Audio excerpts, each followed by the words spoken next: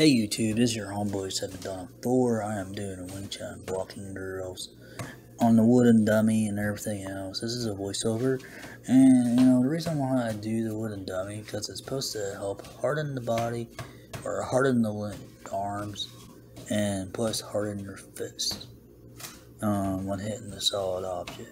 I have MMA gloves on. Yes, is that a little cheating? Yes, is that a little sissy in it?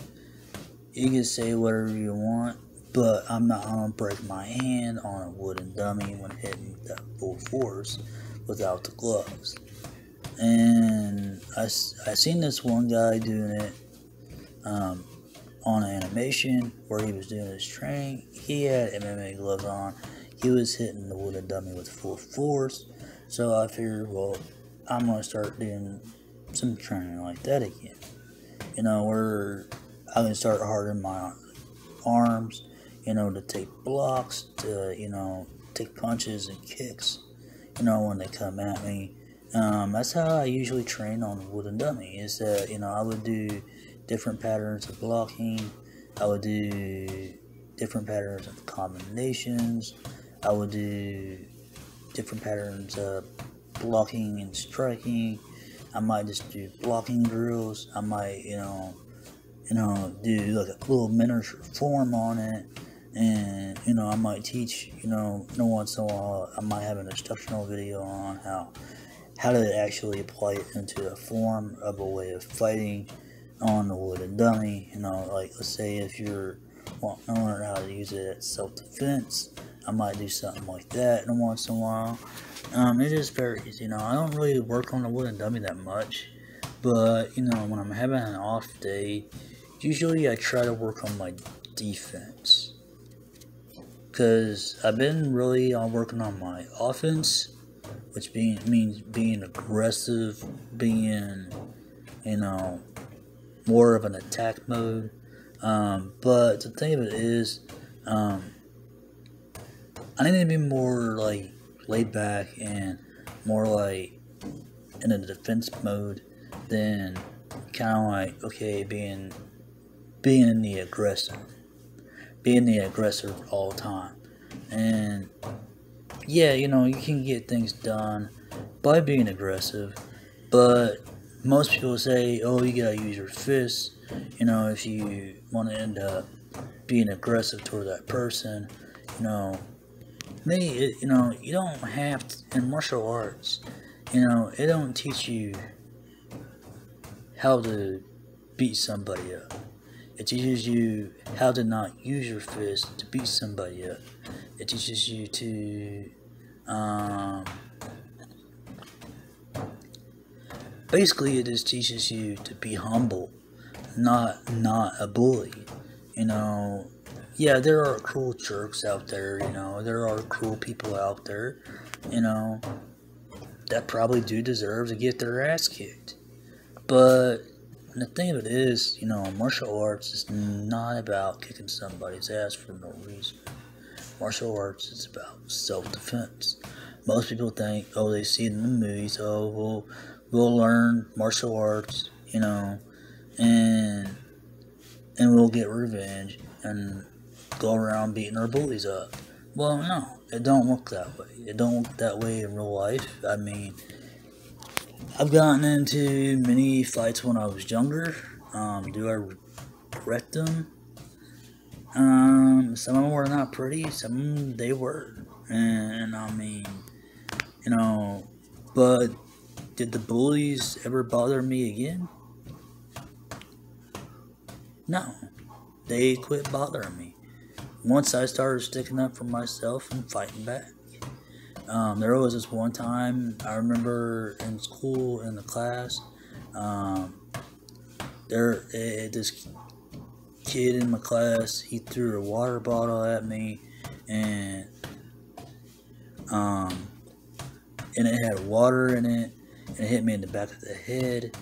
So what I did, I let the cap loose a little bit, and I just threw it like a ninja star and or a shuriken or something like where you how you throw a knife at somebody, except I threw I threw the bottle at him, and where the cap would come off, and where the water would go everywhere on him, and because he was being a jerk, and he was always, he was the class bully, the class clown, and so what I did, I just grabbed the bottle, un- unloosened it for a, a little bit, and I just chugged it at. And I just threw it like a football. And it hit him, the cap came off, busted off, and water went all over him and everything. He started crying and everything, and because I got him wet and everything, and which I'm the one that got in trouble, but he didn't get in trouble for throwing the bottle at me. And I told him, I said, well, he deserved it. I said, he hit me with the bottle in the back of the head. So I got payback. And I said, yeah, but I'm the one that got in trouble for it. And so that's the reason why, you know, uh, I never try to walk in the bully's footstep. And but when the person pushes you that far, when you know that, you know, they're trying to hurt you, then and leave marks on you after you leave school, then that's when you need to start taking things into your own hands. Not, you know, but the thing of it is, what I'm trying to say is, don't go, you know, just take him out on the playground and, you know, to say, hey, you know, if you want to, if you want to mess with me, you know, just fight me, you know, one on one, and you know, have a fair fight, and and just do it that way. I said I've done that many times, and and that's where we would meet at after school, and and I would tell my dad, and I would tell my mom, and I said I'll call them up at while they're at work, and I said, Mom, I said I have a problem. I said I'm gonna be running late getting home, so my best friend Danny, he ended up staying with me after school just to make sure I was going to be okay. Well, I started learning, picking up boxing at the time, and that's when I kind of started going into karate and everything. And now I was learning a little bit, a lot more than what I've already learned. And so I used what I used in for self defense. And I, and I said, meet me after school and we'll settle this. I said, if I beat you, I said, no more harassing me the rest of the year. I said, if you harass me, I'll break your arm.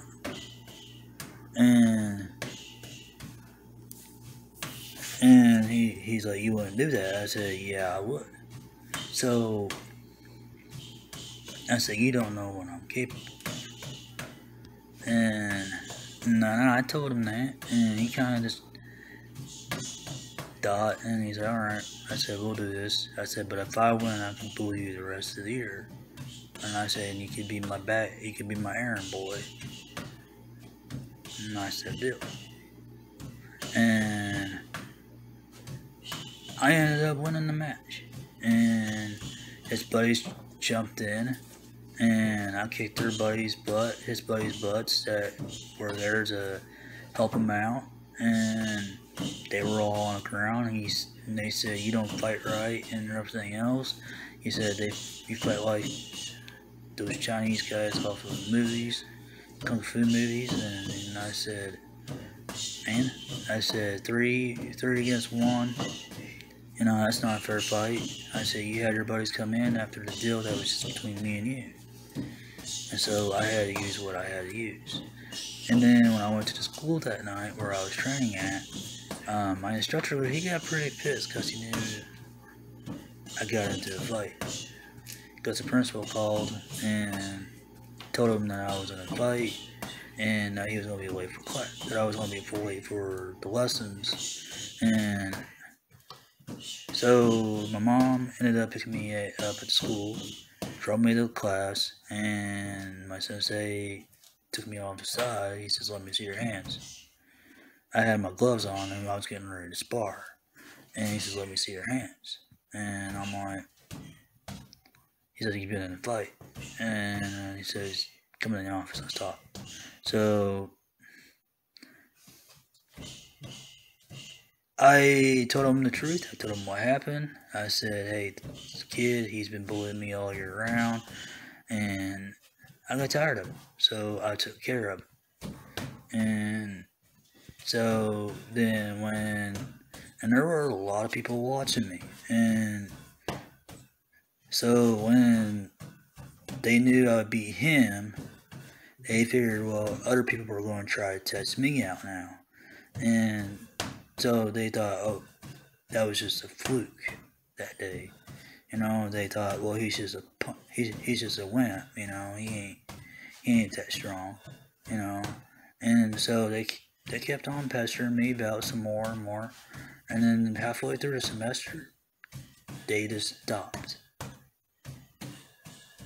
And on my senior year, and because they I, I beat everybody up in my high school year on my last senior on my last on my last year of school and uh, and all of all the guys and I became like the toughest dude in school and and but I had other people respecting me I wasn't really trying to be the tough guy. I was really trying to, you know, just mind my own business. And, but I used martial arts as self-defense. And there were a few times, you know, that, yeah, I almost got kicked out of my school because I kept fighting and, and everything. And I told the principal that I had rods in my back I said they won't leave me alone. I went through all the five stages. I went, I followed the rules, and you know something's got to happen. Was like, okay. And as long as you went through the rules and everything, teachers didn't help out, then you had a right to defend yourself. And so I use martial arts for self-defense, and the, some of the girls they were impressed on how, how well I knew my stuff. And so sometimes some of the girls that were getting bullied, you know, like some of the popular chicks, you know, they were getting bullied by the other popular guys, they'll come hang out with me. And because they thought, oh, well, I'll just hang out with Seth, around Seth, because he knows his martial arts and stuff, you know, he'd be our bodyguard or something like that and which I didn't mind, you know, you know, pretending to be their bodyguard, you know, hey, hot chicks, you know, hey, you know, hanging around me, you know, whatever guy could dream of, right? You know, when you weren't really that popular. And so, um, so basically, I uh, tendency to, you know, help other people out with my stuff that I learned. And some of the women around school, they, some of the girls around school were asking me, like, is that MMA or what, what is it, you know? Because MMA was first starting coming out, and they thought, well, it was like wrestling or something. They thought it was like WWE fighting, and the way on how I fought, and, and, or it was like Batman, you know, how, how Batman trains and he's like, are you trying to be like Batman, you know, be like the next Dark Knight or something, or what? And I said, no. I said, I'm just doing it just for therapy. And I said, I'm trying to be strong. I said, I'm tired of being bullied on. And I said, because of what I am. And that's what I told them. And they really liked the fact that I was honest to them about it. And the popular girls in school, they respected me and they became my best friends. And, and, um, yeah, I mean, did I go out on a date with them? I went on a date with one of them, and she was a freshman, but, you know, hey, you know, I was a senior and you know she was very very popular very beautiful and everything all, all at the same time and and all the guys were jealous because I was going out going prom with the most beautiful girl in school, and so I had tendency to ask her out, and everybody was kind of shocked. And but when I asked her out to prom, at the prom, I became like the most popular guy in school because she told on how well I was well mannered, how well I treated her, and how well I respected her, and what how well you know we just talked about things in a conversation, how very smart I